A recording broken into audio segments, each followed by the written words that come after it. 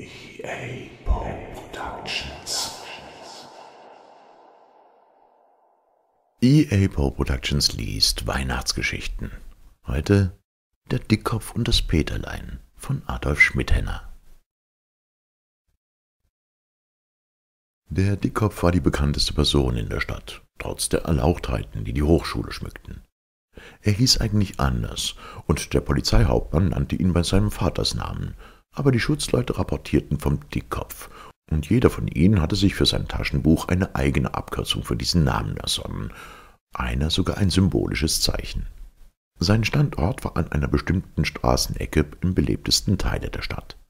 Wer nicht lediglich zum Spazierengehen auf der Welt war, musste mindestens einmal am Tag an ihm vorbei, und wer an ihm vorbeiging, stieg vom Gehweg herunter, denn der Dickkopf machte niemanden Platz.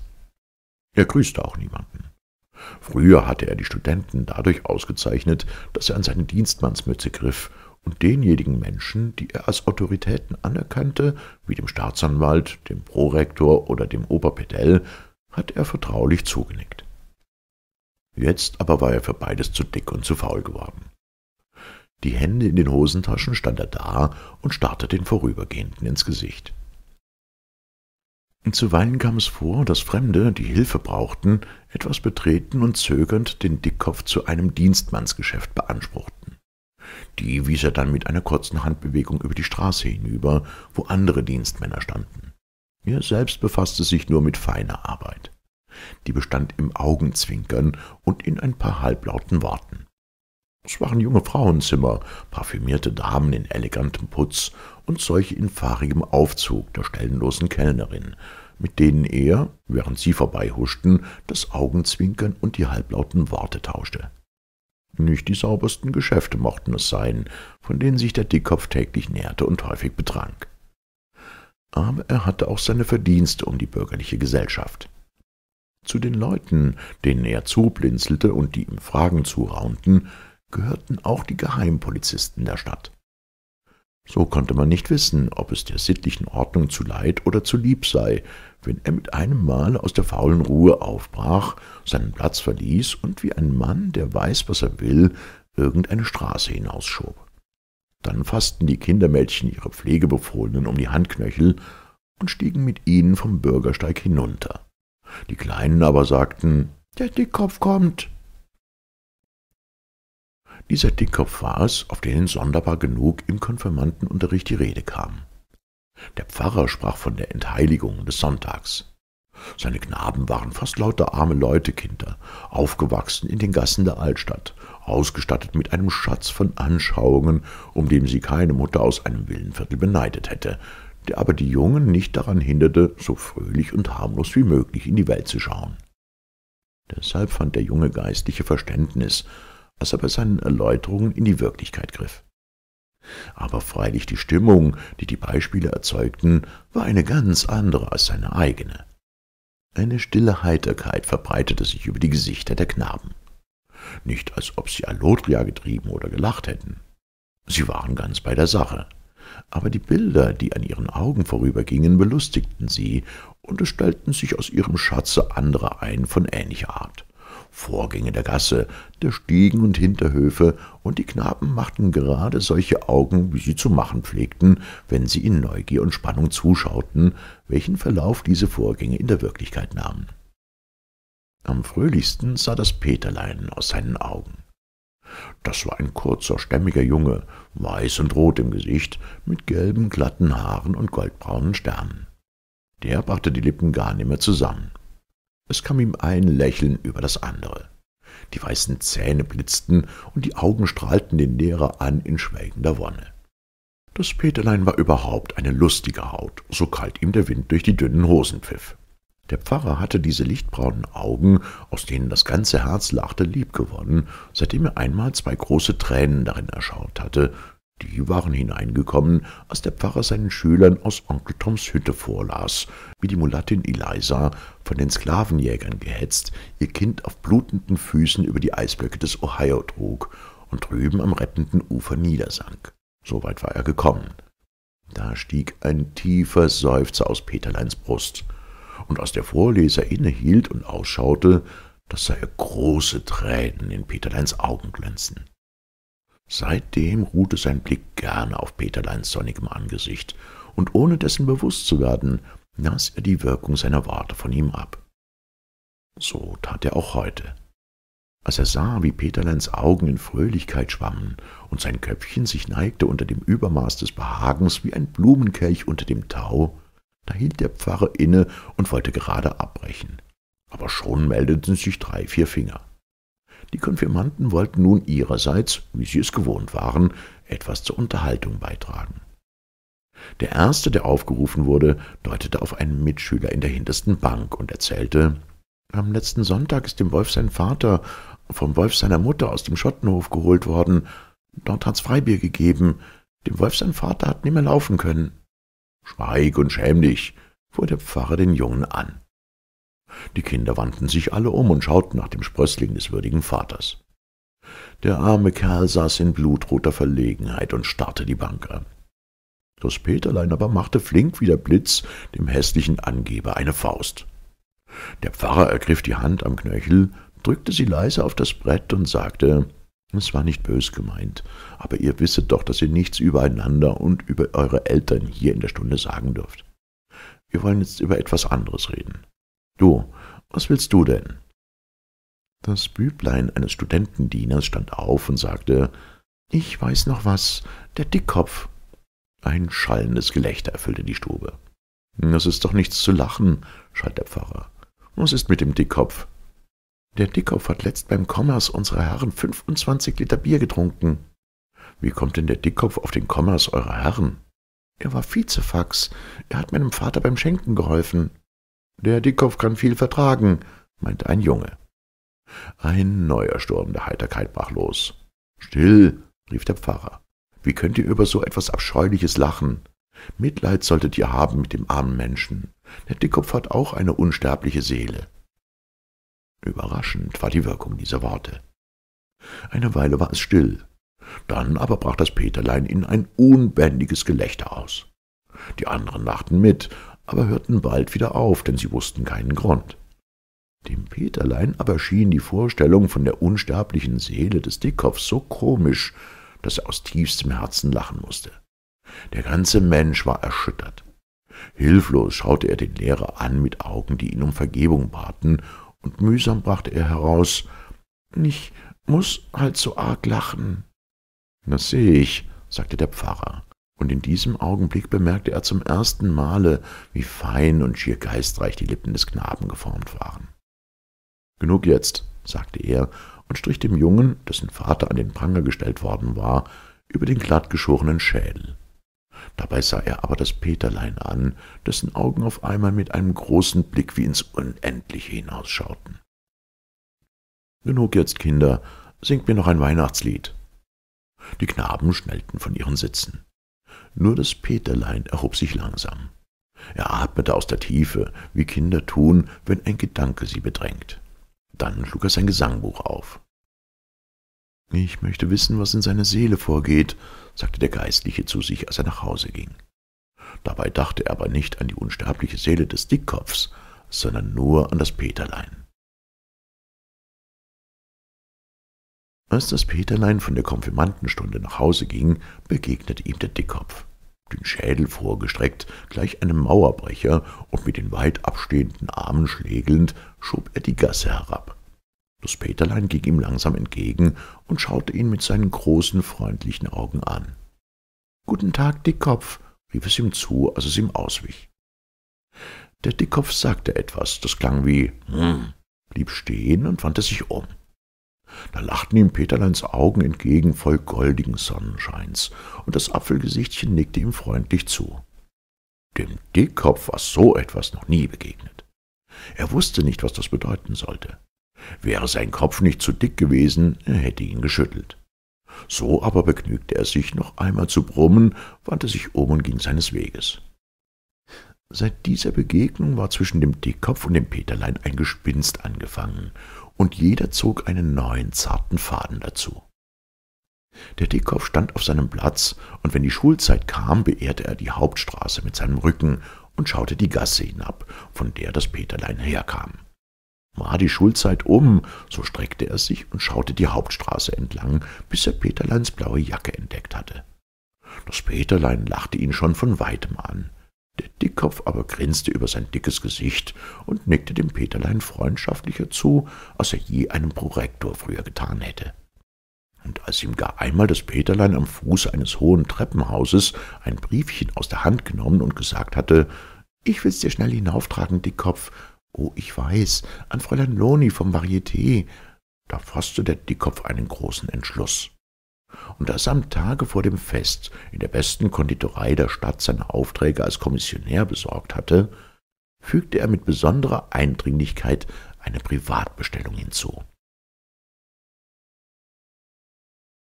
Es war die letzte Rüstzeit des heiligen Abends.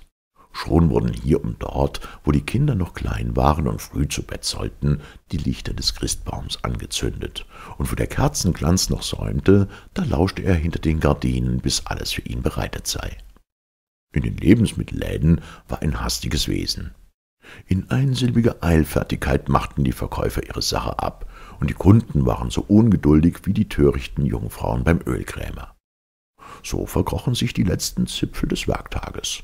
Sie konnten's kaum hurtig genug, denn sie schämten sich vor dem aufsteigenden Schimmer der heiligen Nacht. In dem Wurstladen auf dem Georgenplatz hielt der Werktag am längsten aus, und das Peterlein musste ihm dabei helfen. Es saß auf einem Bänkchen an dem großen Ladenfenster, hatte seine ernsthafte Amtsmiene aufgesetzt und seine Augen folgten aufmerksam den Gebärden der Verkäuferin. In seinem Arm lehnte eine Stange mit eisernen Haken, und kaum hatte die Verkäuferin mit sanftem Augenaufschlag Schwartenmagen oder Schinkenwurst gesagt, so hatte das Peterlein das Verlangte von der Decke heruntergeholt und den dicken Wulst auf den Marmortisch gelegt.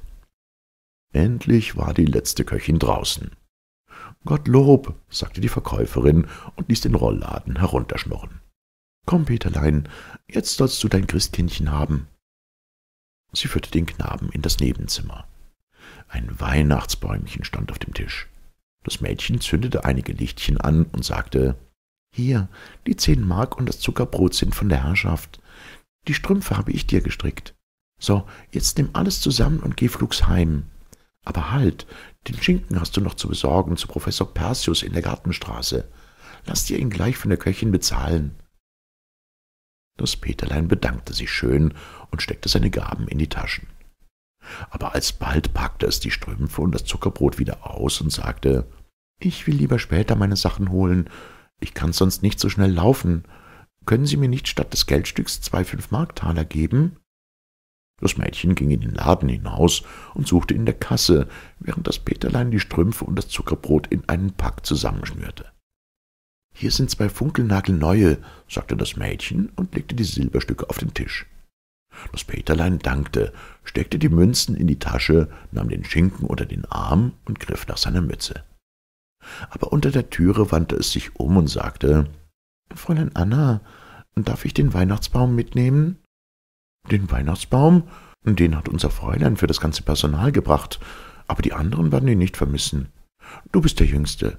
Nimm ihn nur und trag ihn heim. Ich will's verantworten. Aber besorg mir den Schinken heute noch. Vielen schönen Dank und vergnügte Feiertage, sagte das Peterlein und gab dem Mädchen die Hand. Dann legte er sein Päcklein in den Fensterwinkel. Morgen hol ich's. Und er nahm den Schinken unter den Arm, setzte die Mütze auf und ergriff das Bäumchen mit beiden Händen unten am Stamm. Die Verkäuferin öffnete die Tür. Gute Nacht, gute Nacht. Langsam und vorsichtig ging das Peterlein die nächste Gasse hinab. Bei jedem Schritt schlugen die Glasglöckchen an und klirrten leise. Es war finster zwischen den hohen Mauern, denn diese hatten keine Fenster, und die einzige Gaslaterne brannte unten am Ausgange der Gasse. Wer oben stand und hinunterschaute, sah nichts, aber hörte, wie die geheimnisvolle Stimmlein des Weihnachtsbaumes die Gasse hinunterschwebten. Jetzt hörte das Klirren auf, denn das Peterlein war stehen geblieben. Der Schinken wollte ihm hinunterrutschen. Das Peterlein bückte sich, stellte das Bäumchen auf den Boden und schob den Schinken in die Achselhöhle hinauf. Dann ergriff er das Bäumchen wieder mit beiden Händen und ging sachte, sachte weiter. Der Dickkopf wohnte zum Glück ganz nahe. Er hauste in der Gerbergasse. Und die hatte keine Hausnummer, Rechts war sie von einer Fabrikmauer begrenzt, links von den Hinterhöfen und Lohkammern einer weitläufigen Gerberei. In einem Speicher, zu denen die Höfe führten, wohnte der Dickkopf. Der Knabe hielt vor dem Hoftorpförtchen. Stand auf. Der Kettenhund knurrte, aber die Kinderschritte mochten ihn beruhigt haben. Er legte sich wieder in seine Hütte. Mitten über den Hof ging eine düster brennende Laterne. Ihr Schein beleuchtete eine schmale steinerne Treppe, die zu dem gegenüberliegenden Gebäude führte. Das Peterlein stieg langsam die Stufen hinauf und stand vor einer schwarzen Wand.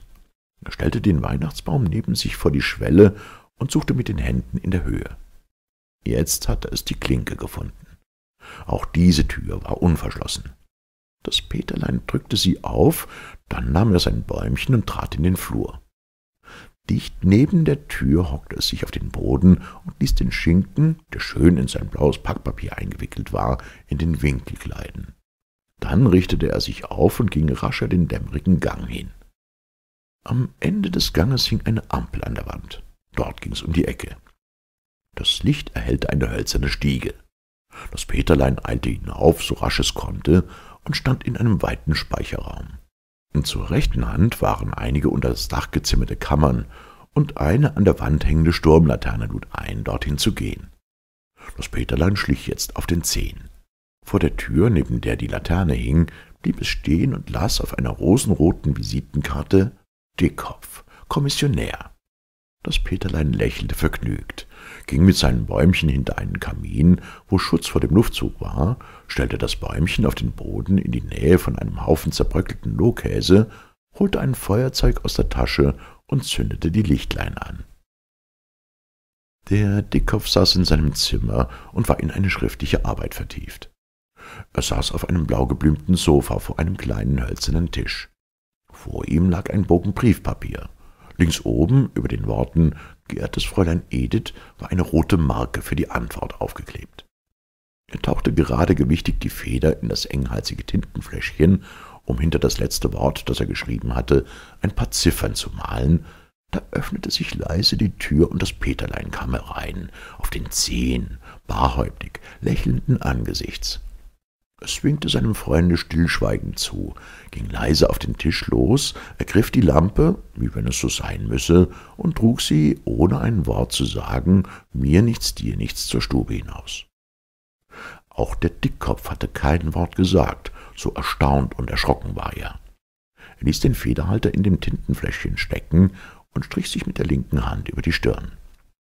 Da tat sich die Tür weit auf, und das Peterlein kam noch einmal herein und hielt den brennenden Weihnachtsbaum in beiden Händen. Langsam und feierlich schritt es vor. In der Mitte der Stube blieb es stehen, hielt den Weihnachtsbaum zur Seite, so dass sein Köpfchen frei war, schaute dem Dickkopf mit seinen Augen ins Gesicht und rief mit lockenheller Stimme Fürchte dich nicht, Dickkopf, siehe, ich verkündige dir große Freude, die allem Volk widerfahren wird, denn dir ist heute der Heiland geboren. Dickkopf, welcher ist Christus der Herr in der Stadt Davids. Hierauf trat das Peterlein an den Tisch und stellte das Bäumchen darauf, griff in die Tasche und legte das Fünfmarkstück davor. Es prüfte mit den Augen, ob der Baum gerade stünde. Dann schaute es noch einmal den Dickkopf lächelnd an, neigte sein Köpfchen, wandte sich langsam um und ging leise, wie es gekommen war, zur Türe hinaus. Der Dickkopf stützte sein schweres Haupt zwischen die Hände und schaute in die Lichter seines Weihnachtsbaumes hinein. Er schaute das blanke Geldstück an und drehte es im Kreise herum.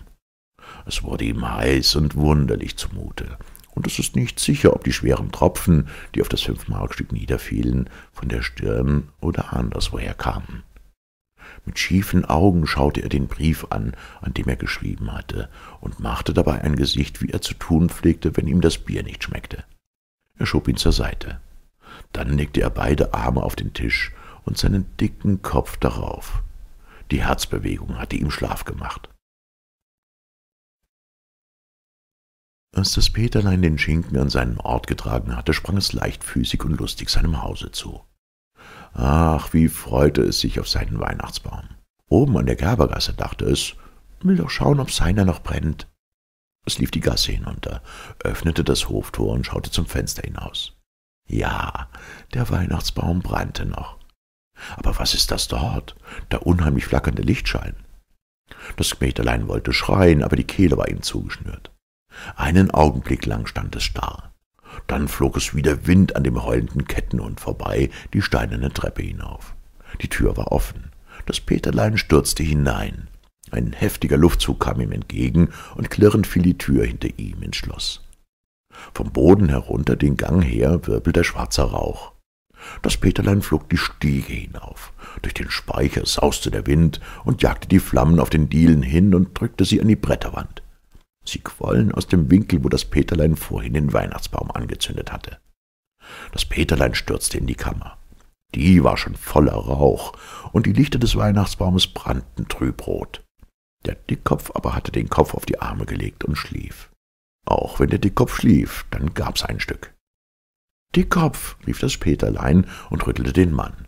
Aber der schlief und schlief. Dickkopf, lieber Dickkopf, so wach doch auf, jammerte der Knabe und versuchte es, das schwere Haupt in die Höhe zu heben. Da, endlich schlug der Dickkopf die Augen auf. Aber im nächsten Augenblick sah er sich entsetzt um. Die Stube war voller Rauch, und draußen auf dem Speicher schwirrten die Flammen. Er sprang von seinem Sitz und eilte mit Peterlein zur Tür hinaus. Ein großer Teil des Speichers war voller Feuer, doch der Weg zur Stiege noch frei.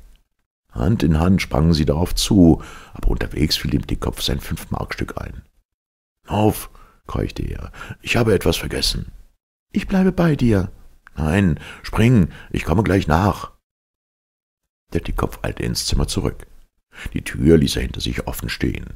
Er suchte auf dem Tisch, auf dem Boden. Der Feuerschein vom Speicher her leuchtete ihm dabei. Endlich im Fensterwinkel fand er sein Weihnachtsgeschenk.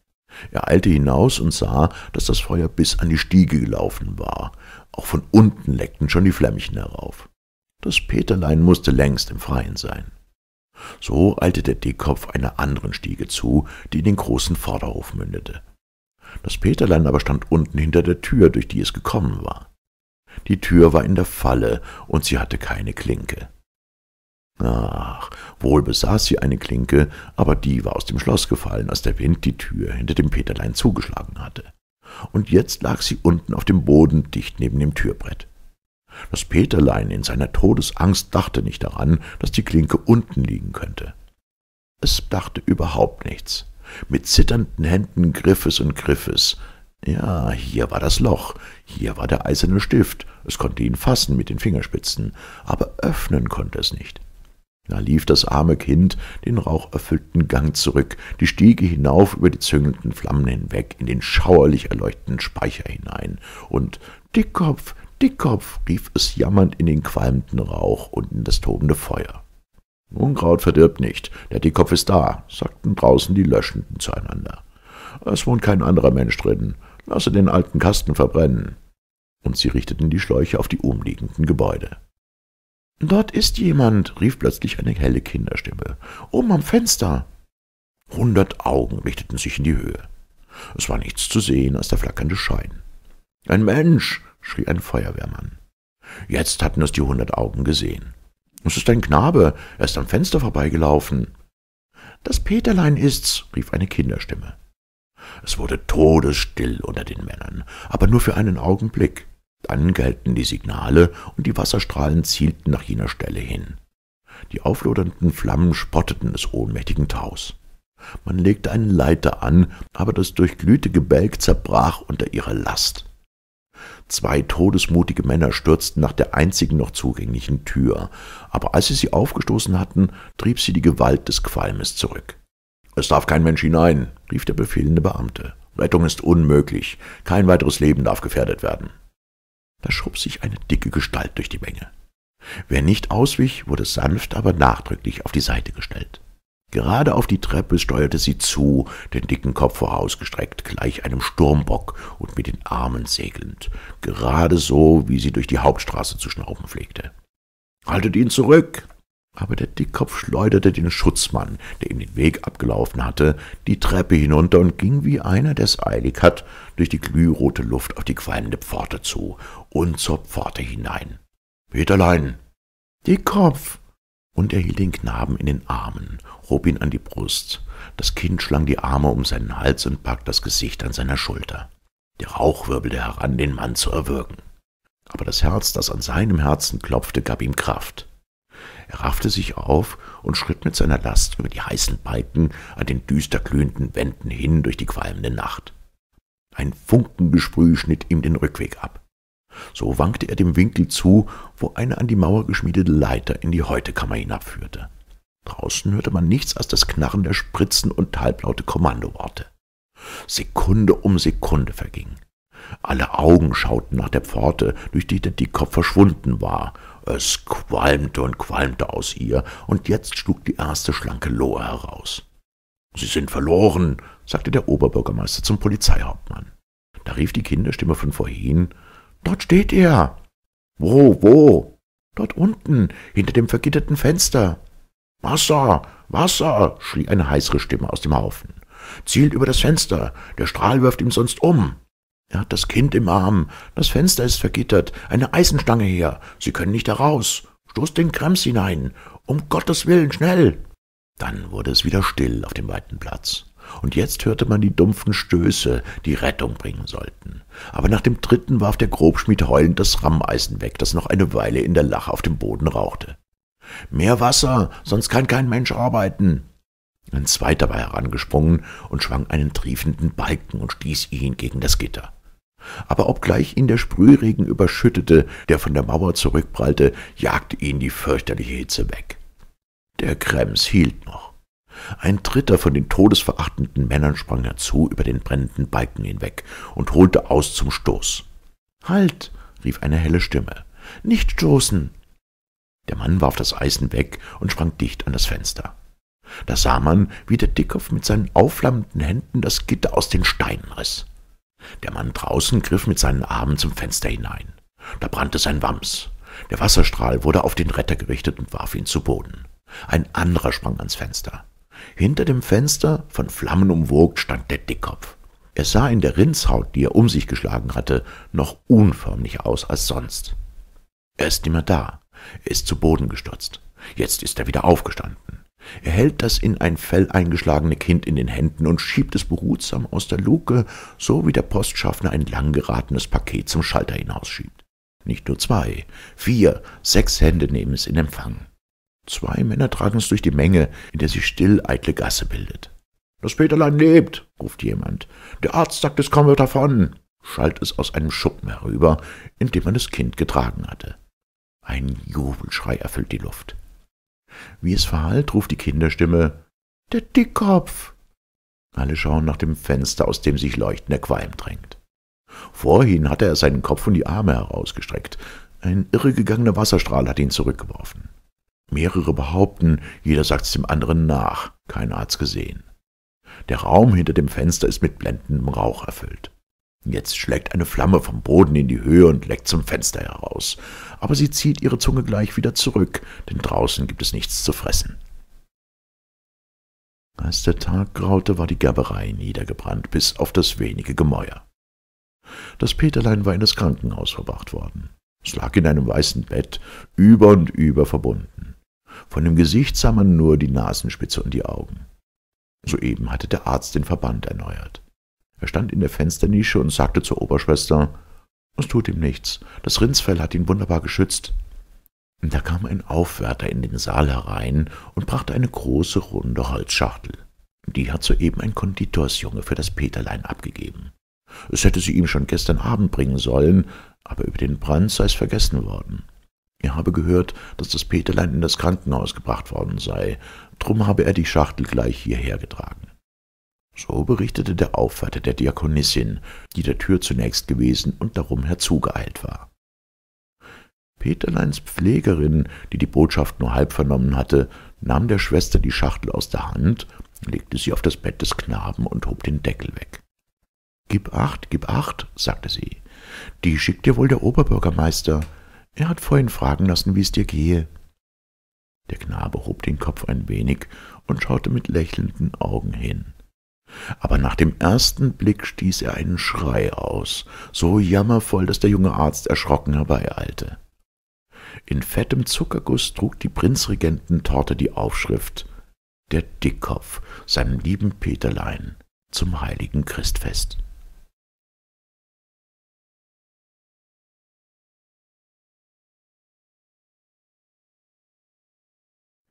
EA Production